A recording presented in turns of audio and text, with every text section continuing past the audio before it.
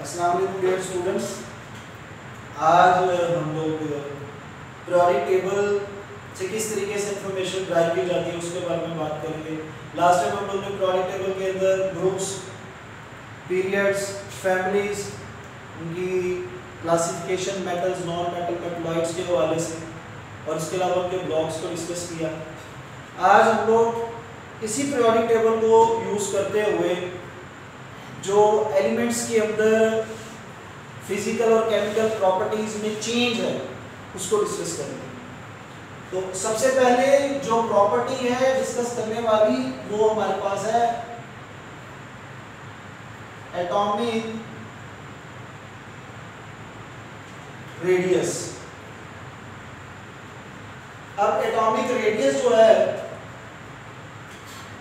ये बहुत ही बेसिक आपके पास समझने प्रॉपर्टी है एलिमेंट्स की। अगर आपको एटॉमिक रेडियस समझ आ जाती है तो इससे फिर आप बहुत ज़्यादा इंफॉर्मेशन जो है रेलिवेंट उसको ड्राइव कर सकते हैं। अब सबसे पहले कि इसकी ज़रूरत क्यों पड़ी हमें? क्या वजह है कि हम एटॉमिक रेडियाई को डिस्कस कर रहे हैं? बच्चों, याद रहे कि एक सिंगल एटम को देखना नामुमकिन के करीब है।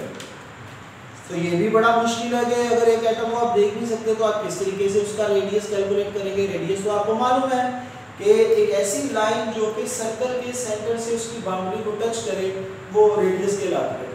और देखिए रेडियस से आप बेसिकली उस चीज़ के साइज़ के बारे में अंदाज़ा लगाते हैं। फॉर एग्ज़ाम्पल अगर मेरे पास दो सर्कल्स हैं तो मैं इनके ये रेडियस बना देता हूँ, इसको मैं R1 कह देता हूँ, इसको मैं R2 कह देता हूँ। तो वैसे तो दिखाई दे रहा है कि इसमें से R2 बड़ा है, जो R2 रेडियस है, ये वाला सर्कल इसको आप B सपोज़ कर ले, इसको आप A सपोज़ कर ले। तो ये बड़ा है, इसका रेडियस छोटा है। तो अगर इसकी कोई वैल्यू हो, जैसे इसको मैं कहता हूँ ये 10 पिकोमीटर है, इसको मैं कह देता हूँ ये 50 पिकोमीटर है। तो वैल्यूज़ की मदद से भी आप इसके साइज़ का अंदाज़ा लगा सकते हैं। तो सिंपली जो एटॉमिक रेडियस है, ये किसी भी एलिमेंट के साइज़ को बताता है। लेकिन ये बात आप लाजमी जहन में रखें कि जो एटम्स हैं वो सर्कल में नहीं होते। आप एटम को एक सफियर कंसीडर नहीं कर सकते। जस्ट हमारी अंडरस्टैंडिंग के लिए हम इस चीज़ को कह सकते हैं, ये जो एटम्स हैं, वो एक सर्कल की फॉर्म में है और ये इनका रेडियस है। लेकिन याद रहे एटम जो है वो स्फीयर की फॉर्म में नहीं होते जस्ट हमारी अंडरस्टैंडिंग के लिए। अब एटॉमिक रेडियस किस तरीके से आप कैलकुलेट कर सकते हैं? ये समझना ज़रूरी है। अब एक अकेला एटम उसको देखना बहुत मुश्किल है। तो ऐसा ख्याल किया जाता है कि जब दो एटम्स वाइब्रेट कर रहे हों और उनकी बाउंड्रीज आपस में एक दूसरे को किसी एक पॉइंट के ऊपर टच करें। आई रिपीट सिंगल एटम का रेडियस रेडियस फाइंड करना नामुमकिन के करीब है, लेकिन हम ये सपोज़ कर लेते हैं कि during vibration the boundaries of two atoms may collide may join at a particular point तो जब वो एक दूसरे को ज्वाइन करें तो उस दौरान जो उनके न्यूक्लियाई हैं न्यूक्लियाई न्यूक्लियस की जमा तो उनके न्यूक्लियाई का आप जो डिस्टेंस है, इसको मैयर कर सकते हैं बाय डिफरेंट टेक्निक्स फिर आप क्या करें, उस मैयर की गए जो डिस्टेंस है, उसको हाफ़ कर दें तो हाफ़ करने से आपके पास एक सिंगल एटम का रेडियस आ जाता है। In case of carbon carbon का जो इंटर न्यूक्लियर डिस्टेंस है वर्ड जरा सुनिएगा inter nuclear distance inter mean in between nuclear nucleus distance इनके दरमियान जितना भी फासला है। यानी दो न्यूक्लियस के दरमियान का फासला इंटर न्यूक्लियर डिस्टेंस या inter nuclei distance in case of carbon ये आता है 154 पिकोमीटर लास्ट टाइम बताया था पिकोमीटर रेडियस के लिए यूज़ होने वाला यूनिट है, और 1 picometre is equal to 10 to power minus 12 metre अब इसका हाफ़ कर तो हमारे पास ये कार्बन एटम का रेडियस देगा जो कि बनेगा 77 पिकोमीटर अब सिंगल कार्बन का रेडियस मालूम करना मुश्किल है, लेकिन आपने इस तरीके से, इस कॉन्सेप्ट के ज़रिए से एक सिंगल कार्बन का रेडियस फाइंड कर लिया। ये तो रहा कि एटॉमिक रेडियस क्या होता है, किस तरीके से हम इसको फाइंड कर सकते हैं। लेकिन हमारा मेन कंसर्न है पीरियोडिक टेबल में आने वाली वेरिएशंस को पढ़ना। कि जब आप पीरियोडिक टेबल के अंदर देखते हैं तो क्या ट्रेंड दिखाई देता है? कैसे रेडियस चेंज होता है? और इस रेडियस के चेंज होने से एलिमेंट्स की प्रॉपर्टीज़ पे क्या इफ़ेक्ट होता है? अब सबसे पहले हम ग्रुप्स की बात कर लेते हैं। ग्रुप्स आप जानते हैं वर्टिकल जो कॉलम्स हैं पीरियोडिक टेबल के अंदर इनको ग्रुप्स बोलते हैं। और जब भी आप एक पर्टिकुलर ग्रुप के अंदर देखते हैं तो आहिस्ता आहिस्ता एटम का साइज़ इंक्रीज कर जाता है जब आप टॉप से बॉटम जाते जाते हैं। इसकी वजह क्या like in case of group one alkali metals तो ये आपके पास आ जाएगा हाइड्रोजन ये आ जाएगा लिथियम ये आ जाएगा सोडियम और इसी तरीके से जब फर्दर मूव करेंगे पोटेशियम रुबेडियम सीजियम फ्रांसियम के पास तो साइज़ जो है ना वो बहुत बढ़ जाएगा।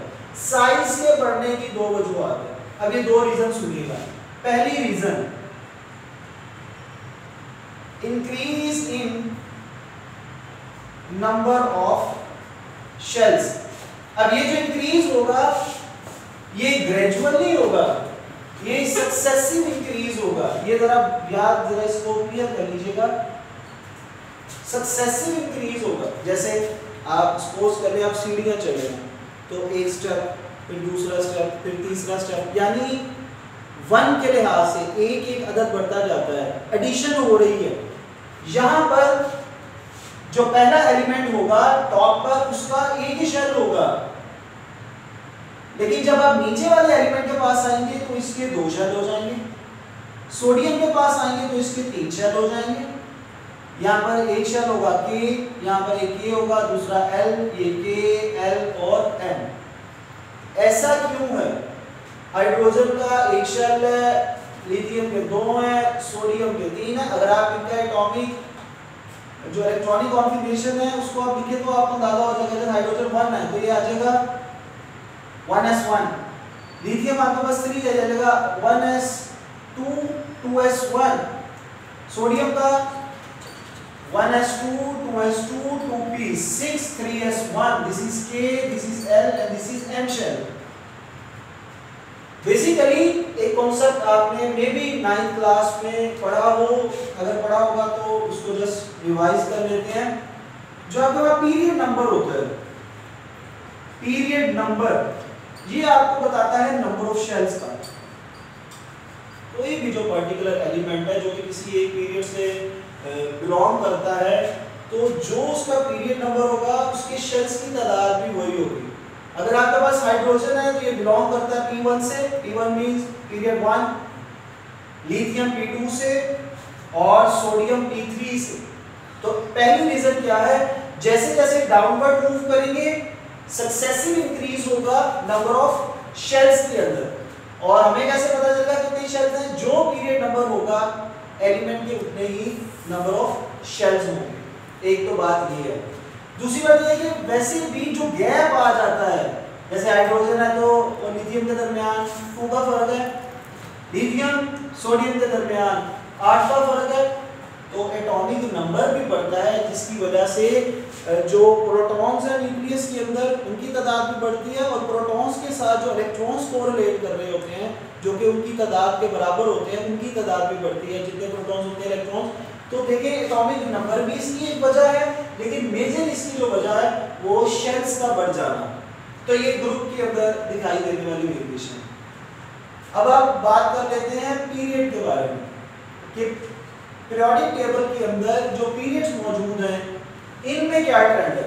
अभी आपने याद रखना है कि जब भी आप पीरियोडिक टेबल में टॉप से बॉटम मूव करेंगे तो एटम का जो साइज़ है वो इंक्रीज करेगा because number of shells are increasing successively एक के बाद एक का इजाफा हो रहा है।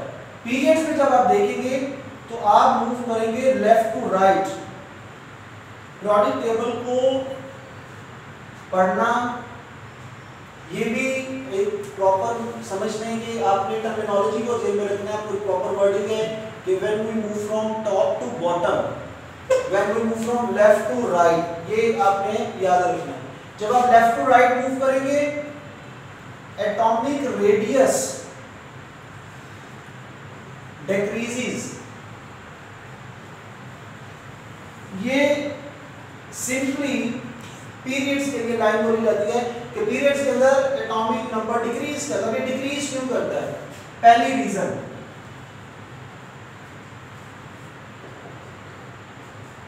number of shells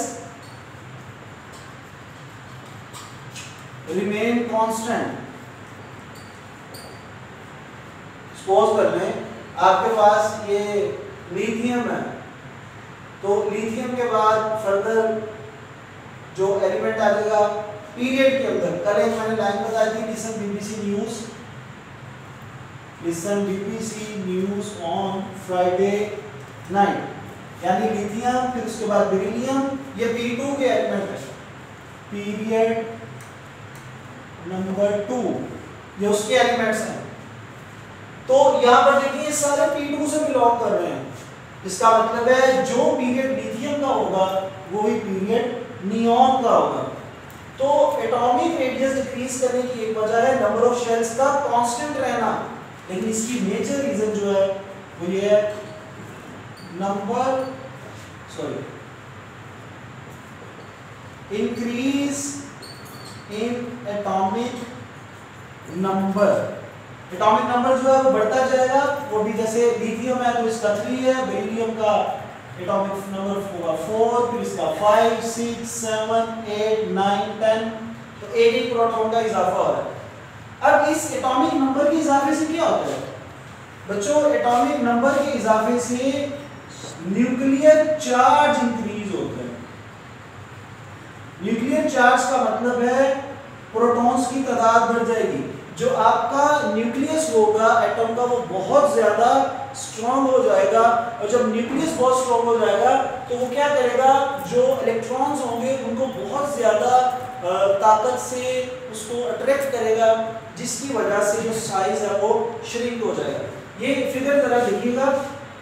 लाइक ये देख लें अगर न्यूक्लियस बहुत ही स्ट्रॉन्ग है, इसमें बहुत ज़्यादा पॉजिटिव चार्ज है हैवी न्यूक्लियस है, और ये सपोज़ करें कि यहाँ पर इलेक्ट्रॉन जो हैं, वो मौजूद हैं इसके अराउंड तो क्या करेगा? न्यूक्लियस इन इलेक्ट्रॉन्स को अपनी तरफ़ अट्रैक्ट करेगा।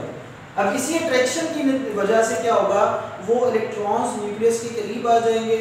रिज़ल्ट क्या होगा? साइज़ में कमी वाक़ हो जाएगी। श्रिंक हो जाएँगे साइज़ जो है वो कम होता जाएगा। तो दो रीजन आपने याद रखनी है। पीरियड्स के अंदर क्या होता है? नंबर ऑफ़ शेल्स कांस्टेंट रहते हैं, लेकिन एटॉमिक नंबर बढ़ता है। एटॉमिक नंबर के बढ़ने से न्यूक्लियर चार्ज बढ़ेगा। इसके साथ आप एक और लफ्ज का इजाफा कर लें। That is effective nuclear charge ये शील्डिंग फैक्टर में आपको बताऊँगा कि इफ़ेक्टिव न्यूक्लियर चार्ज क्या होता है।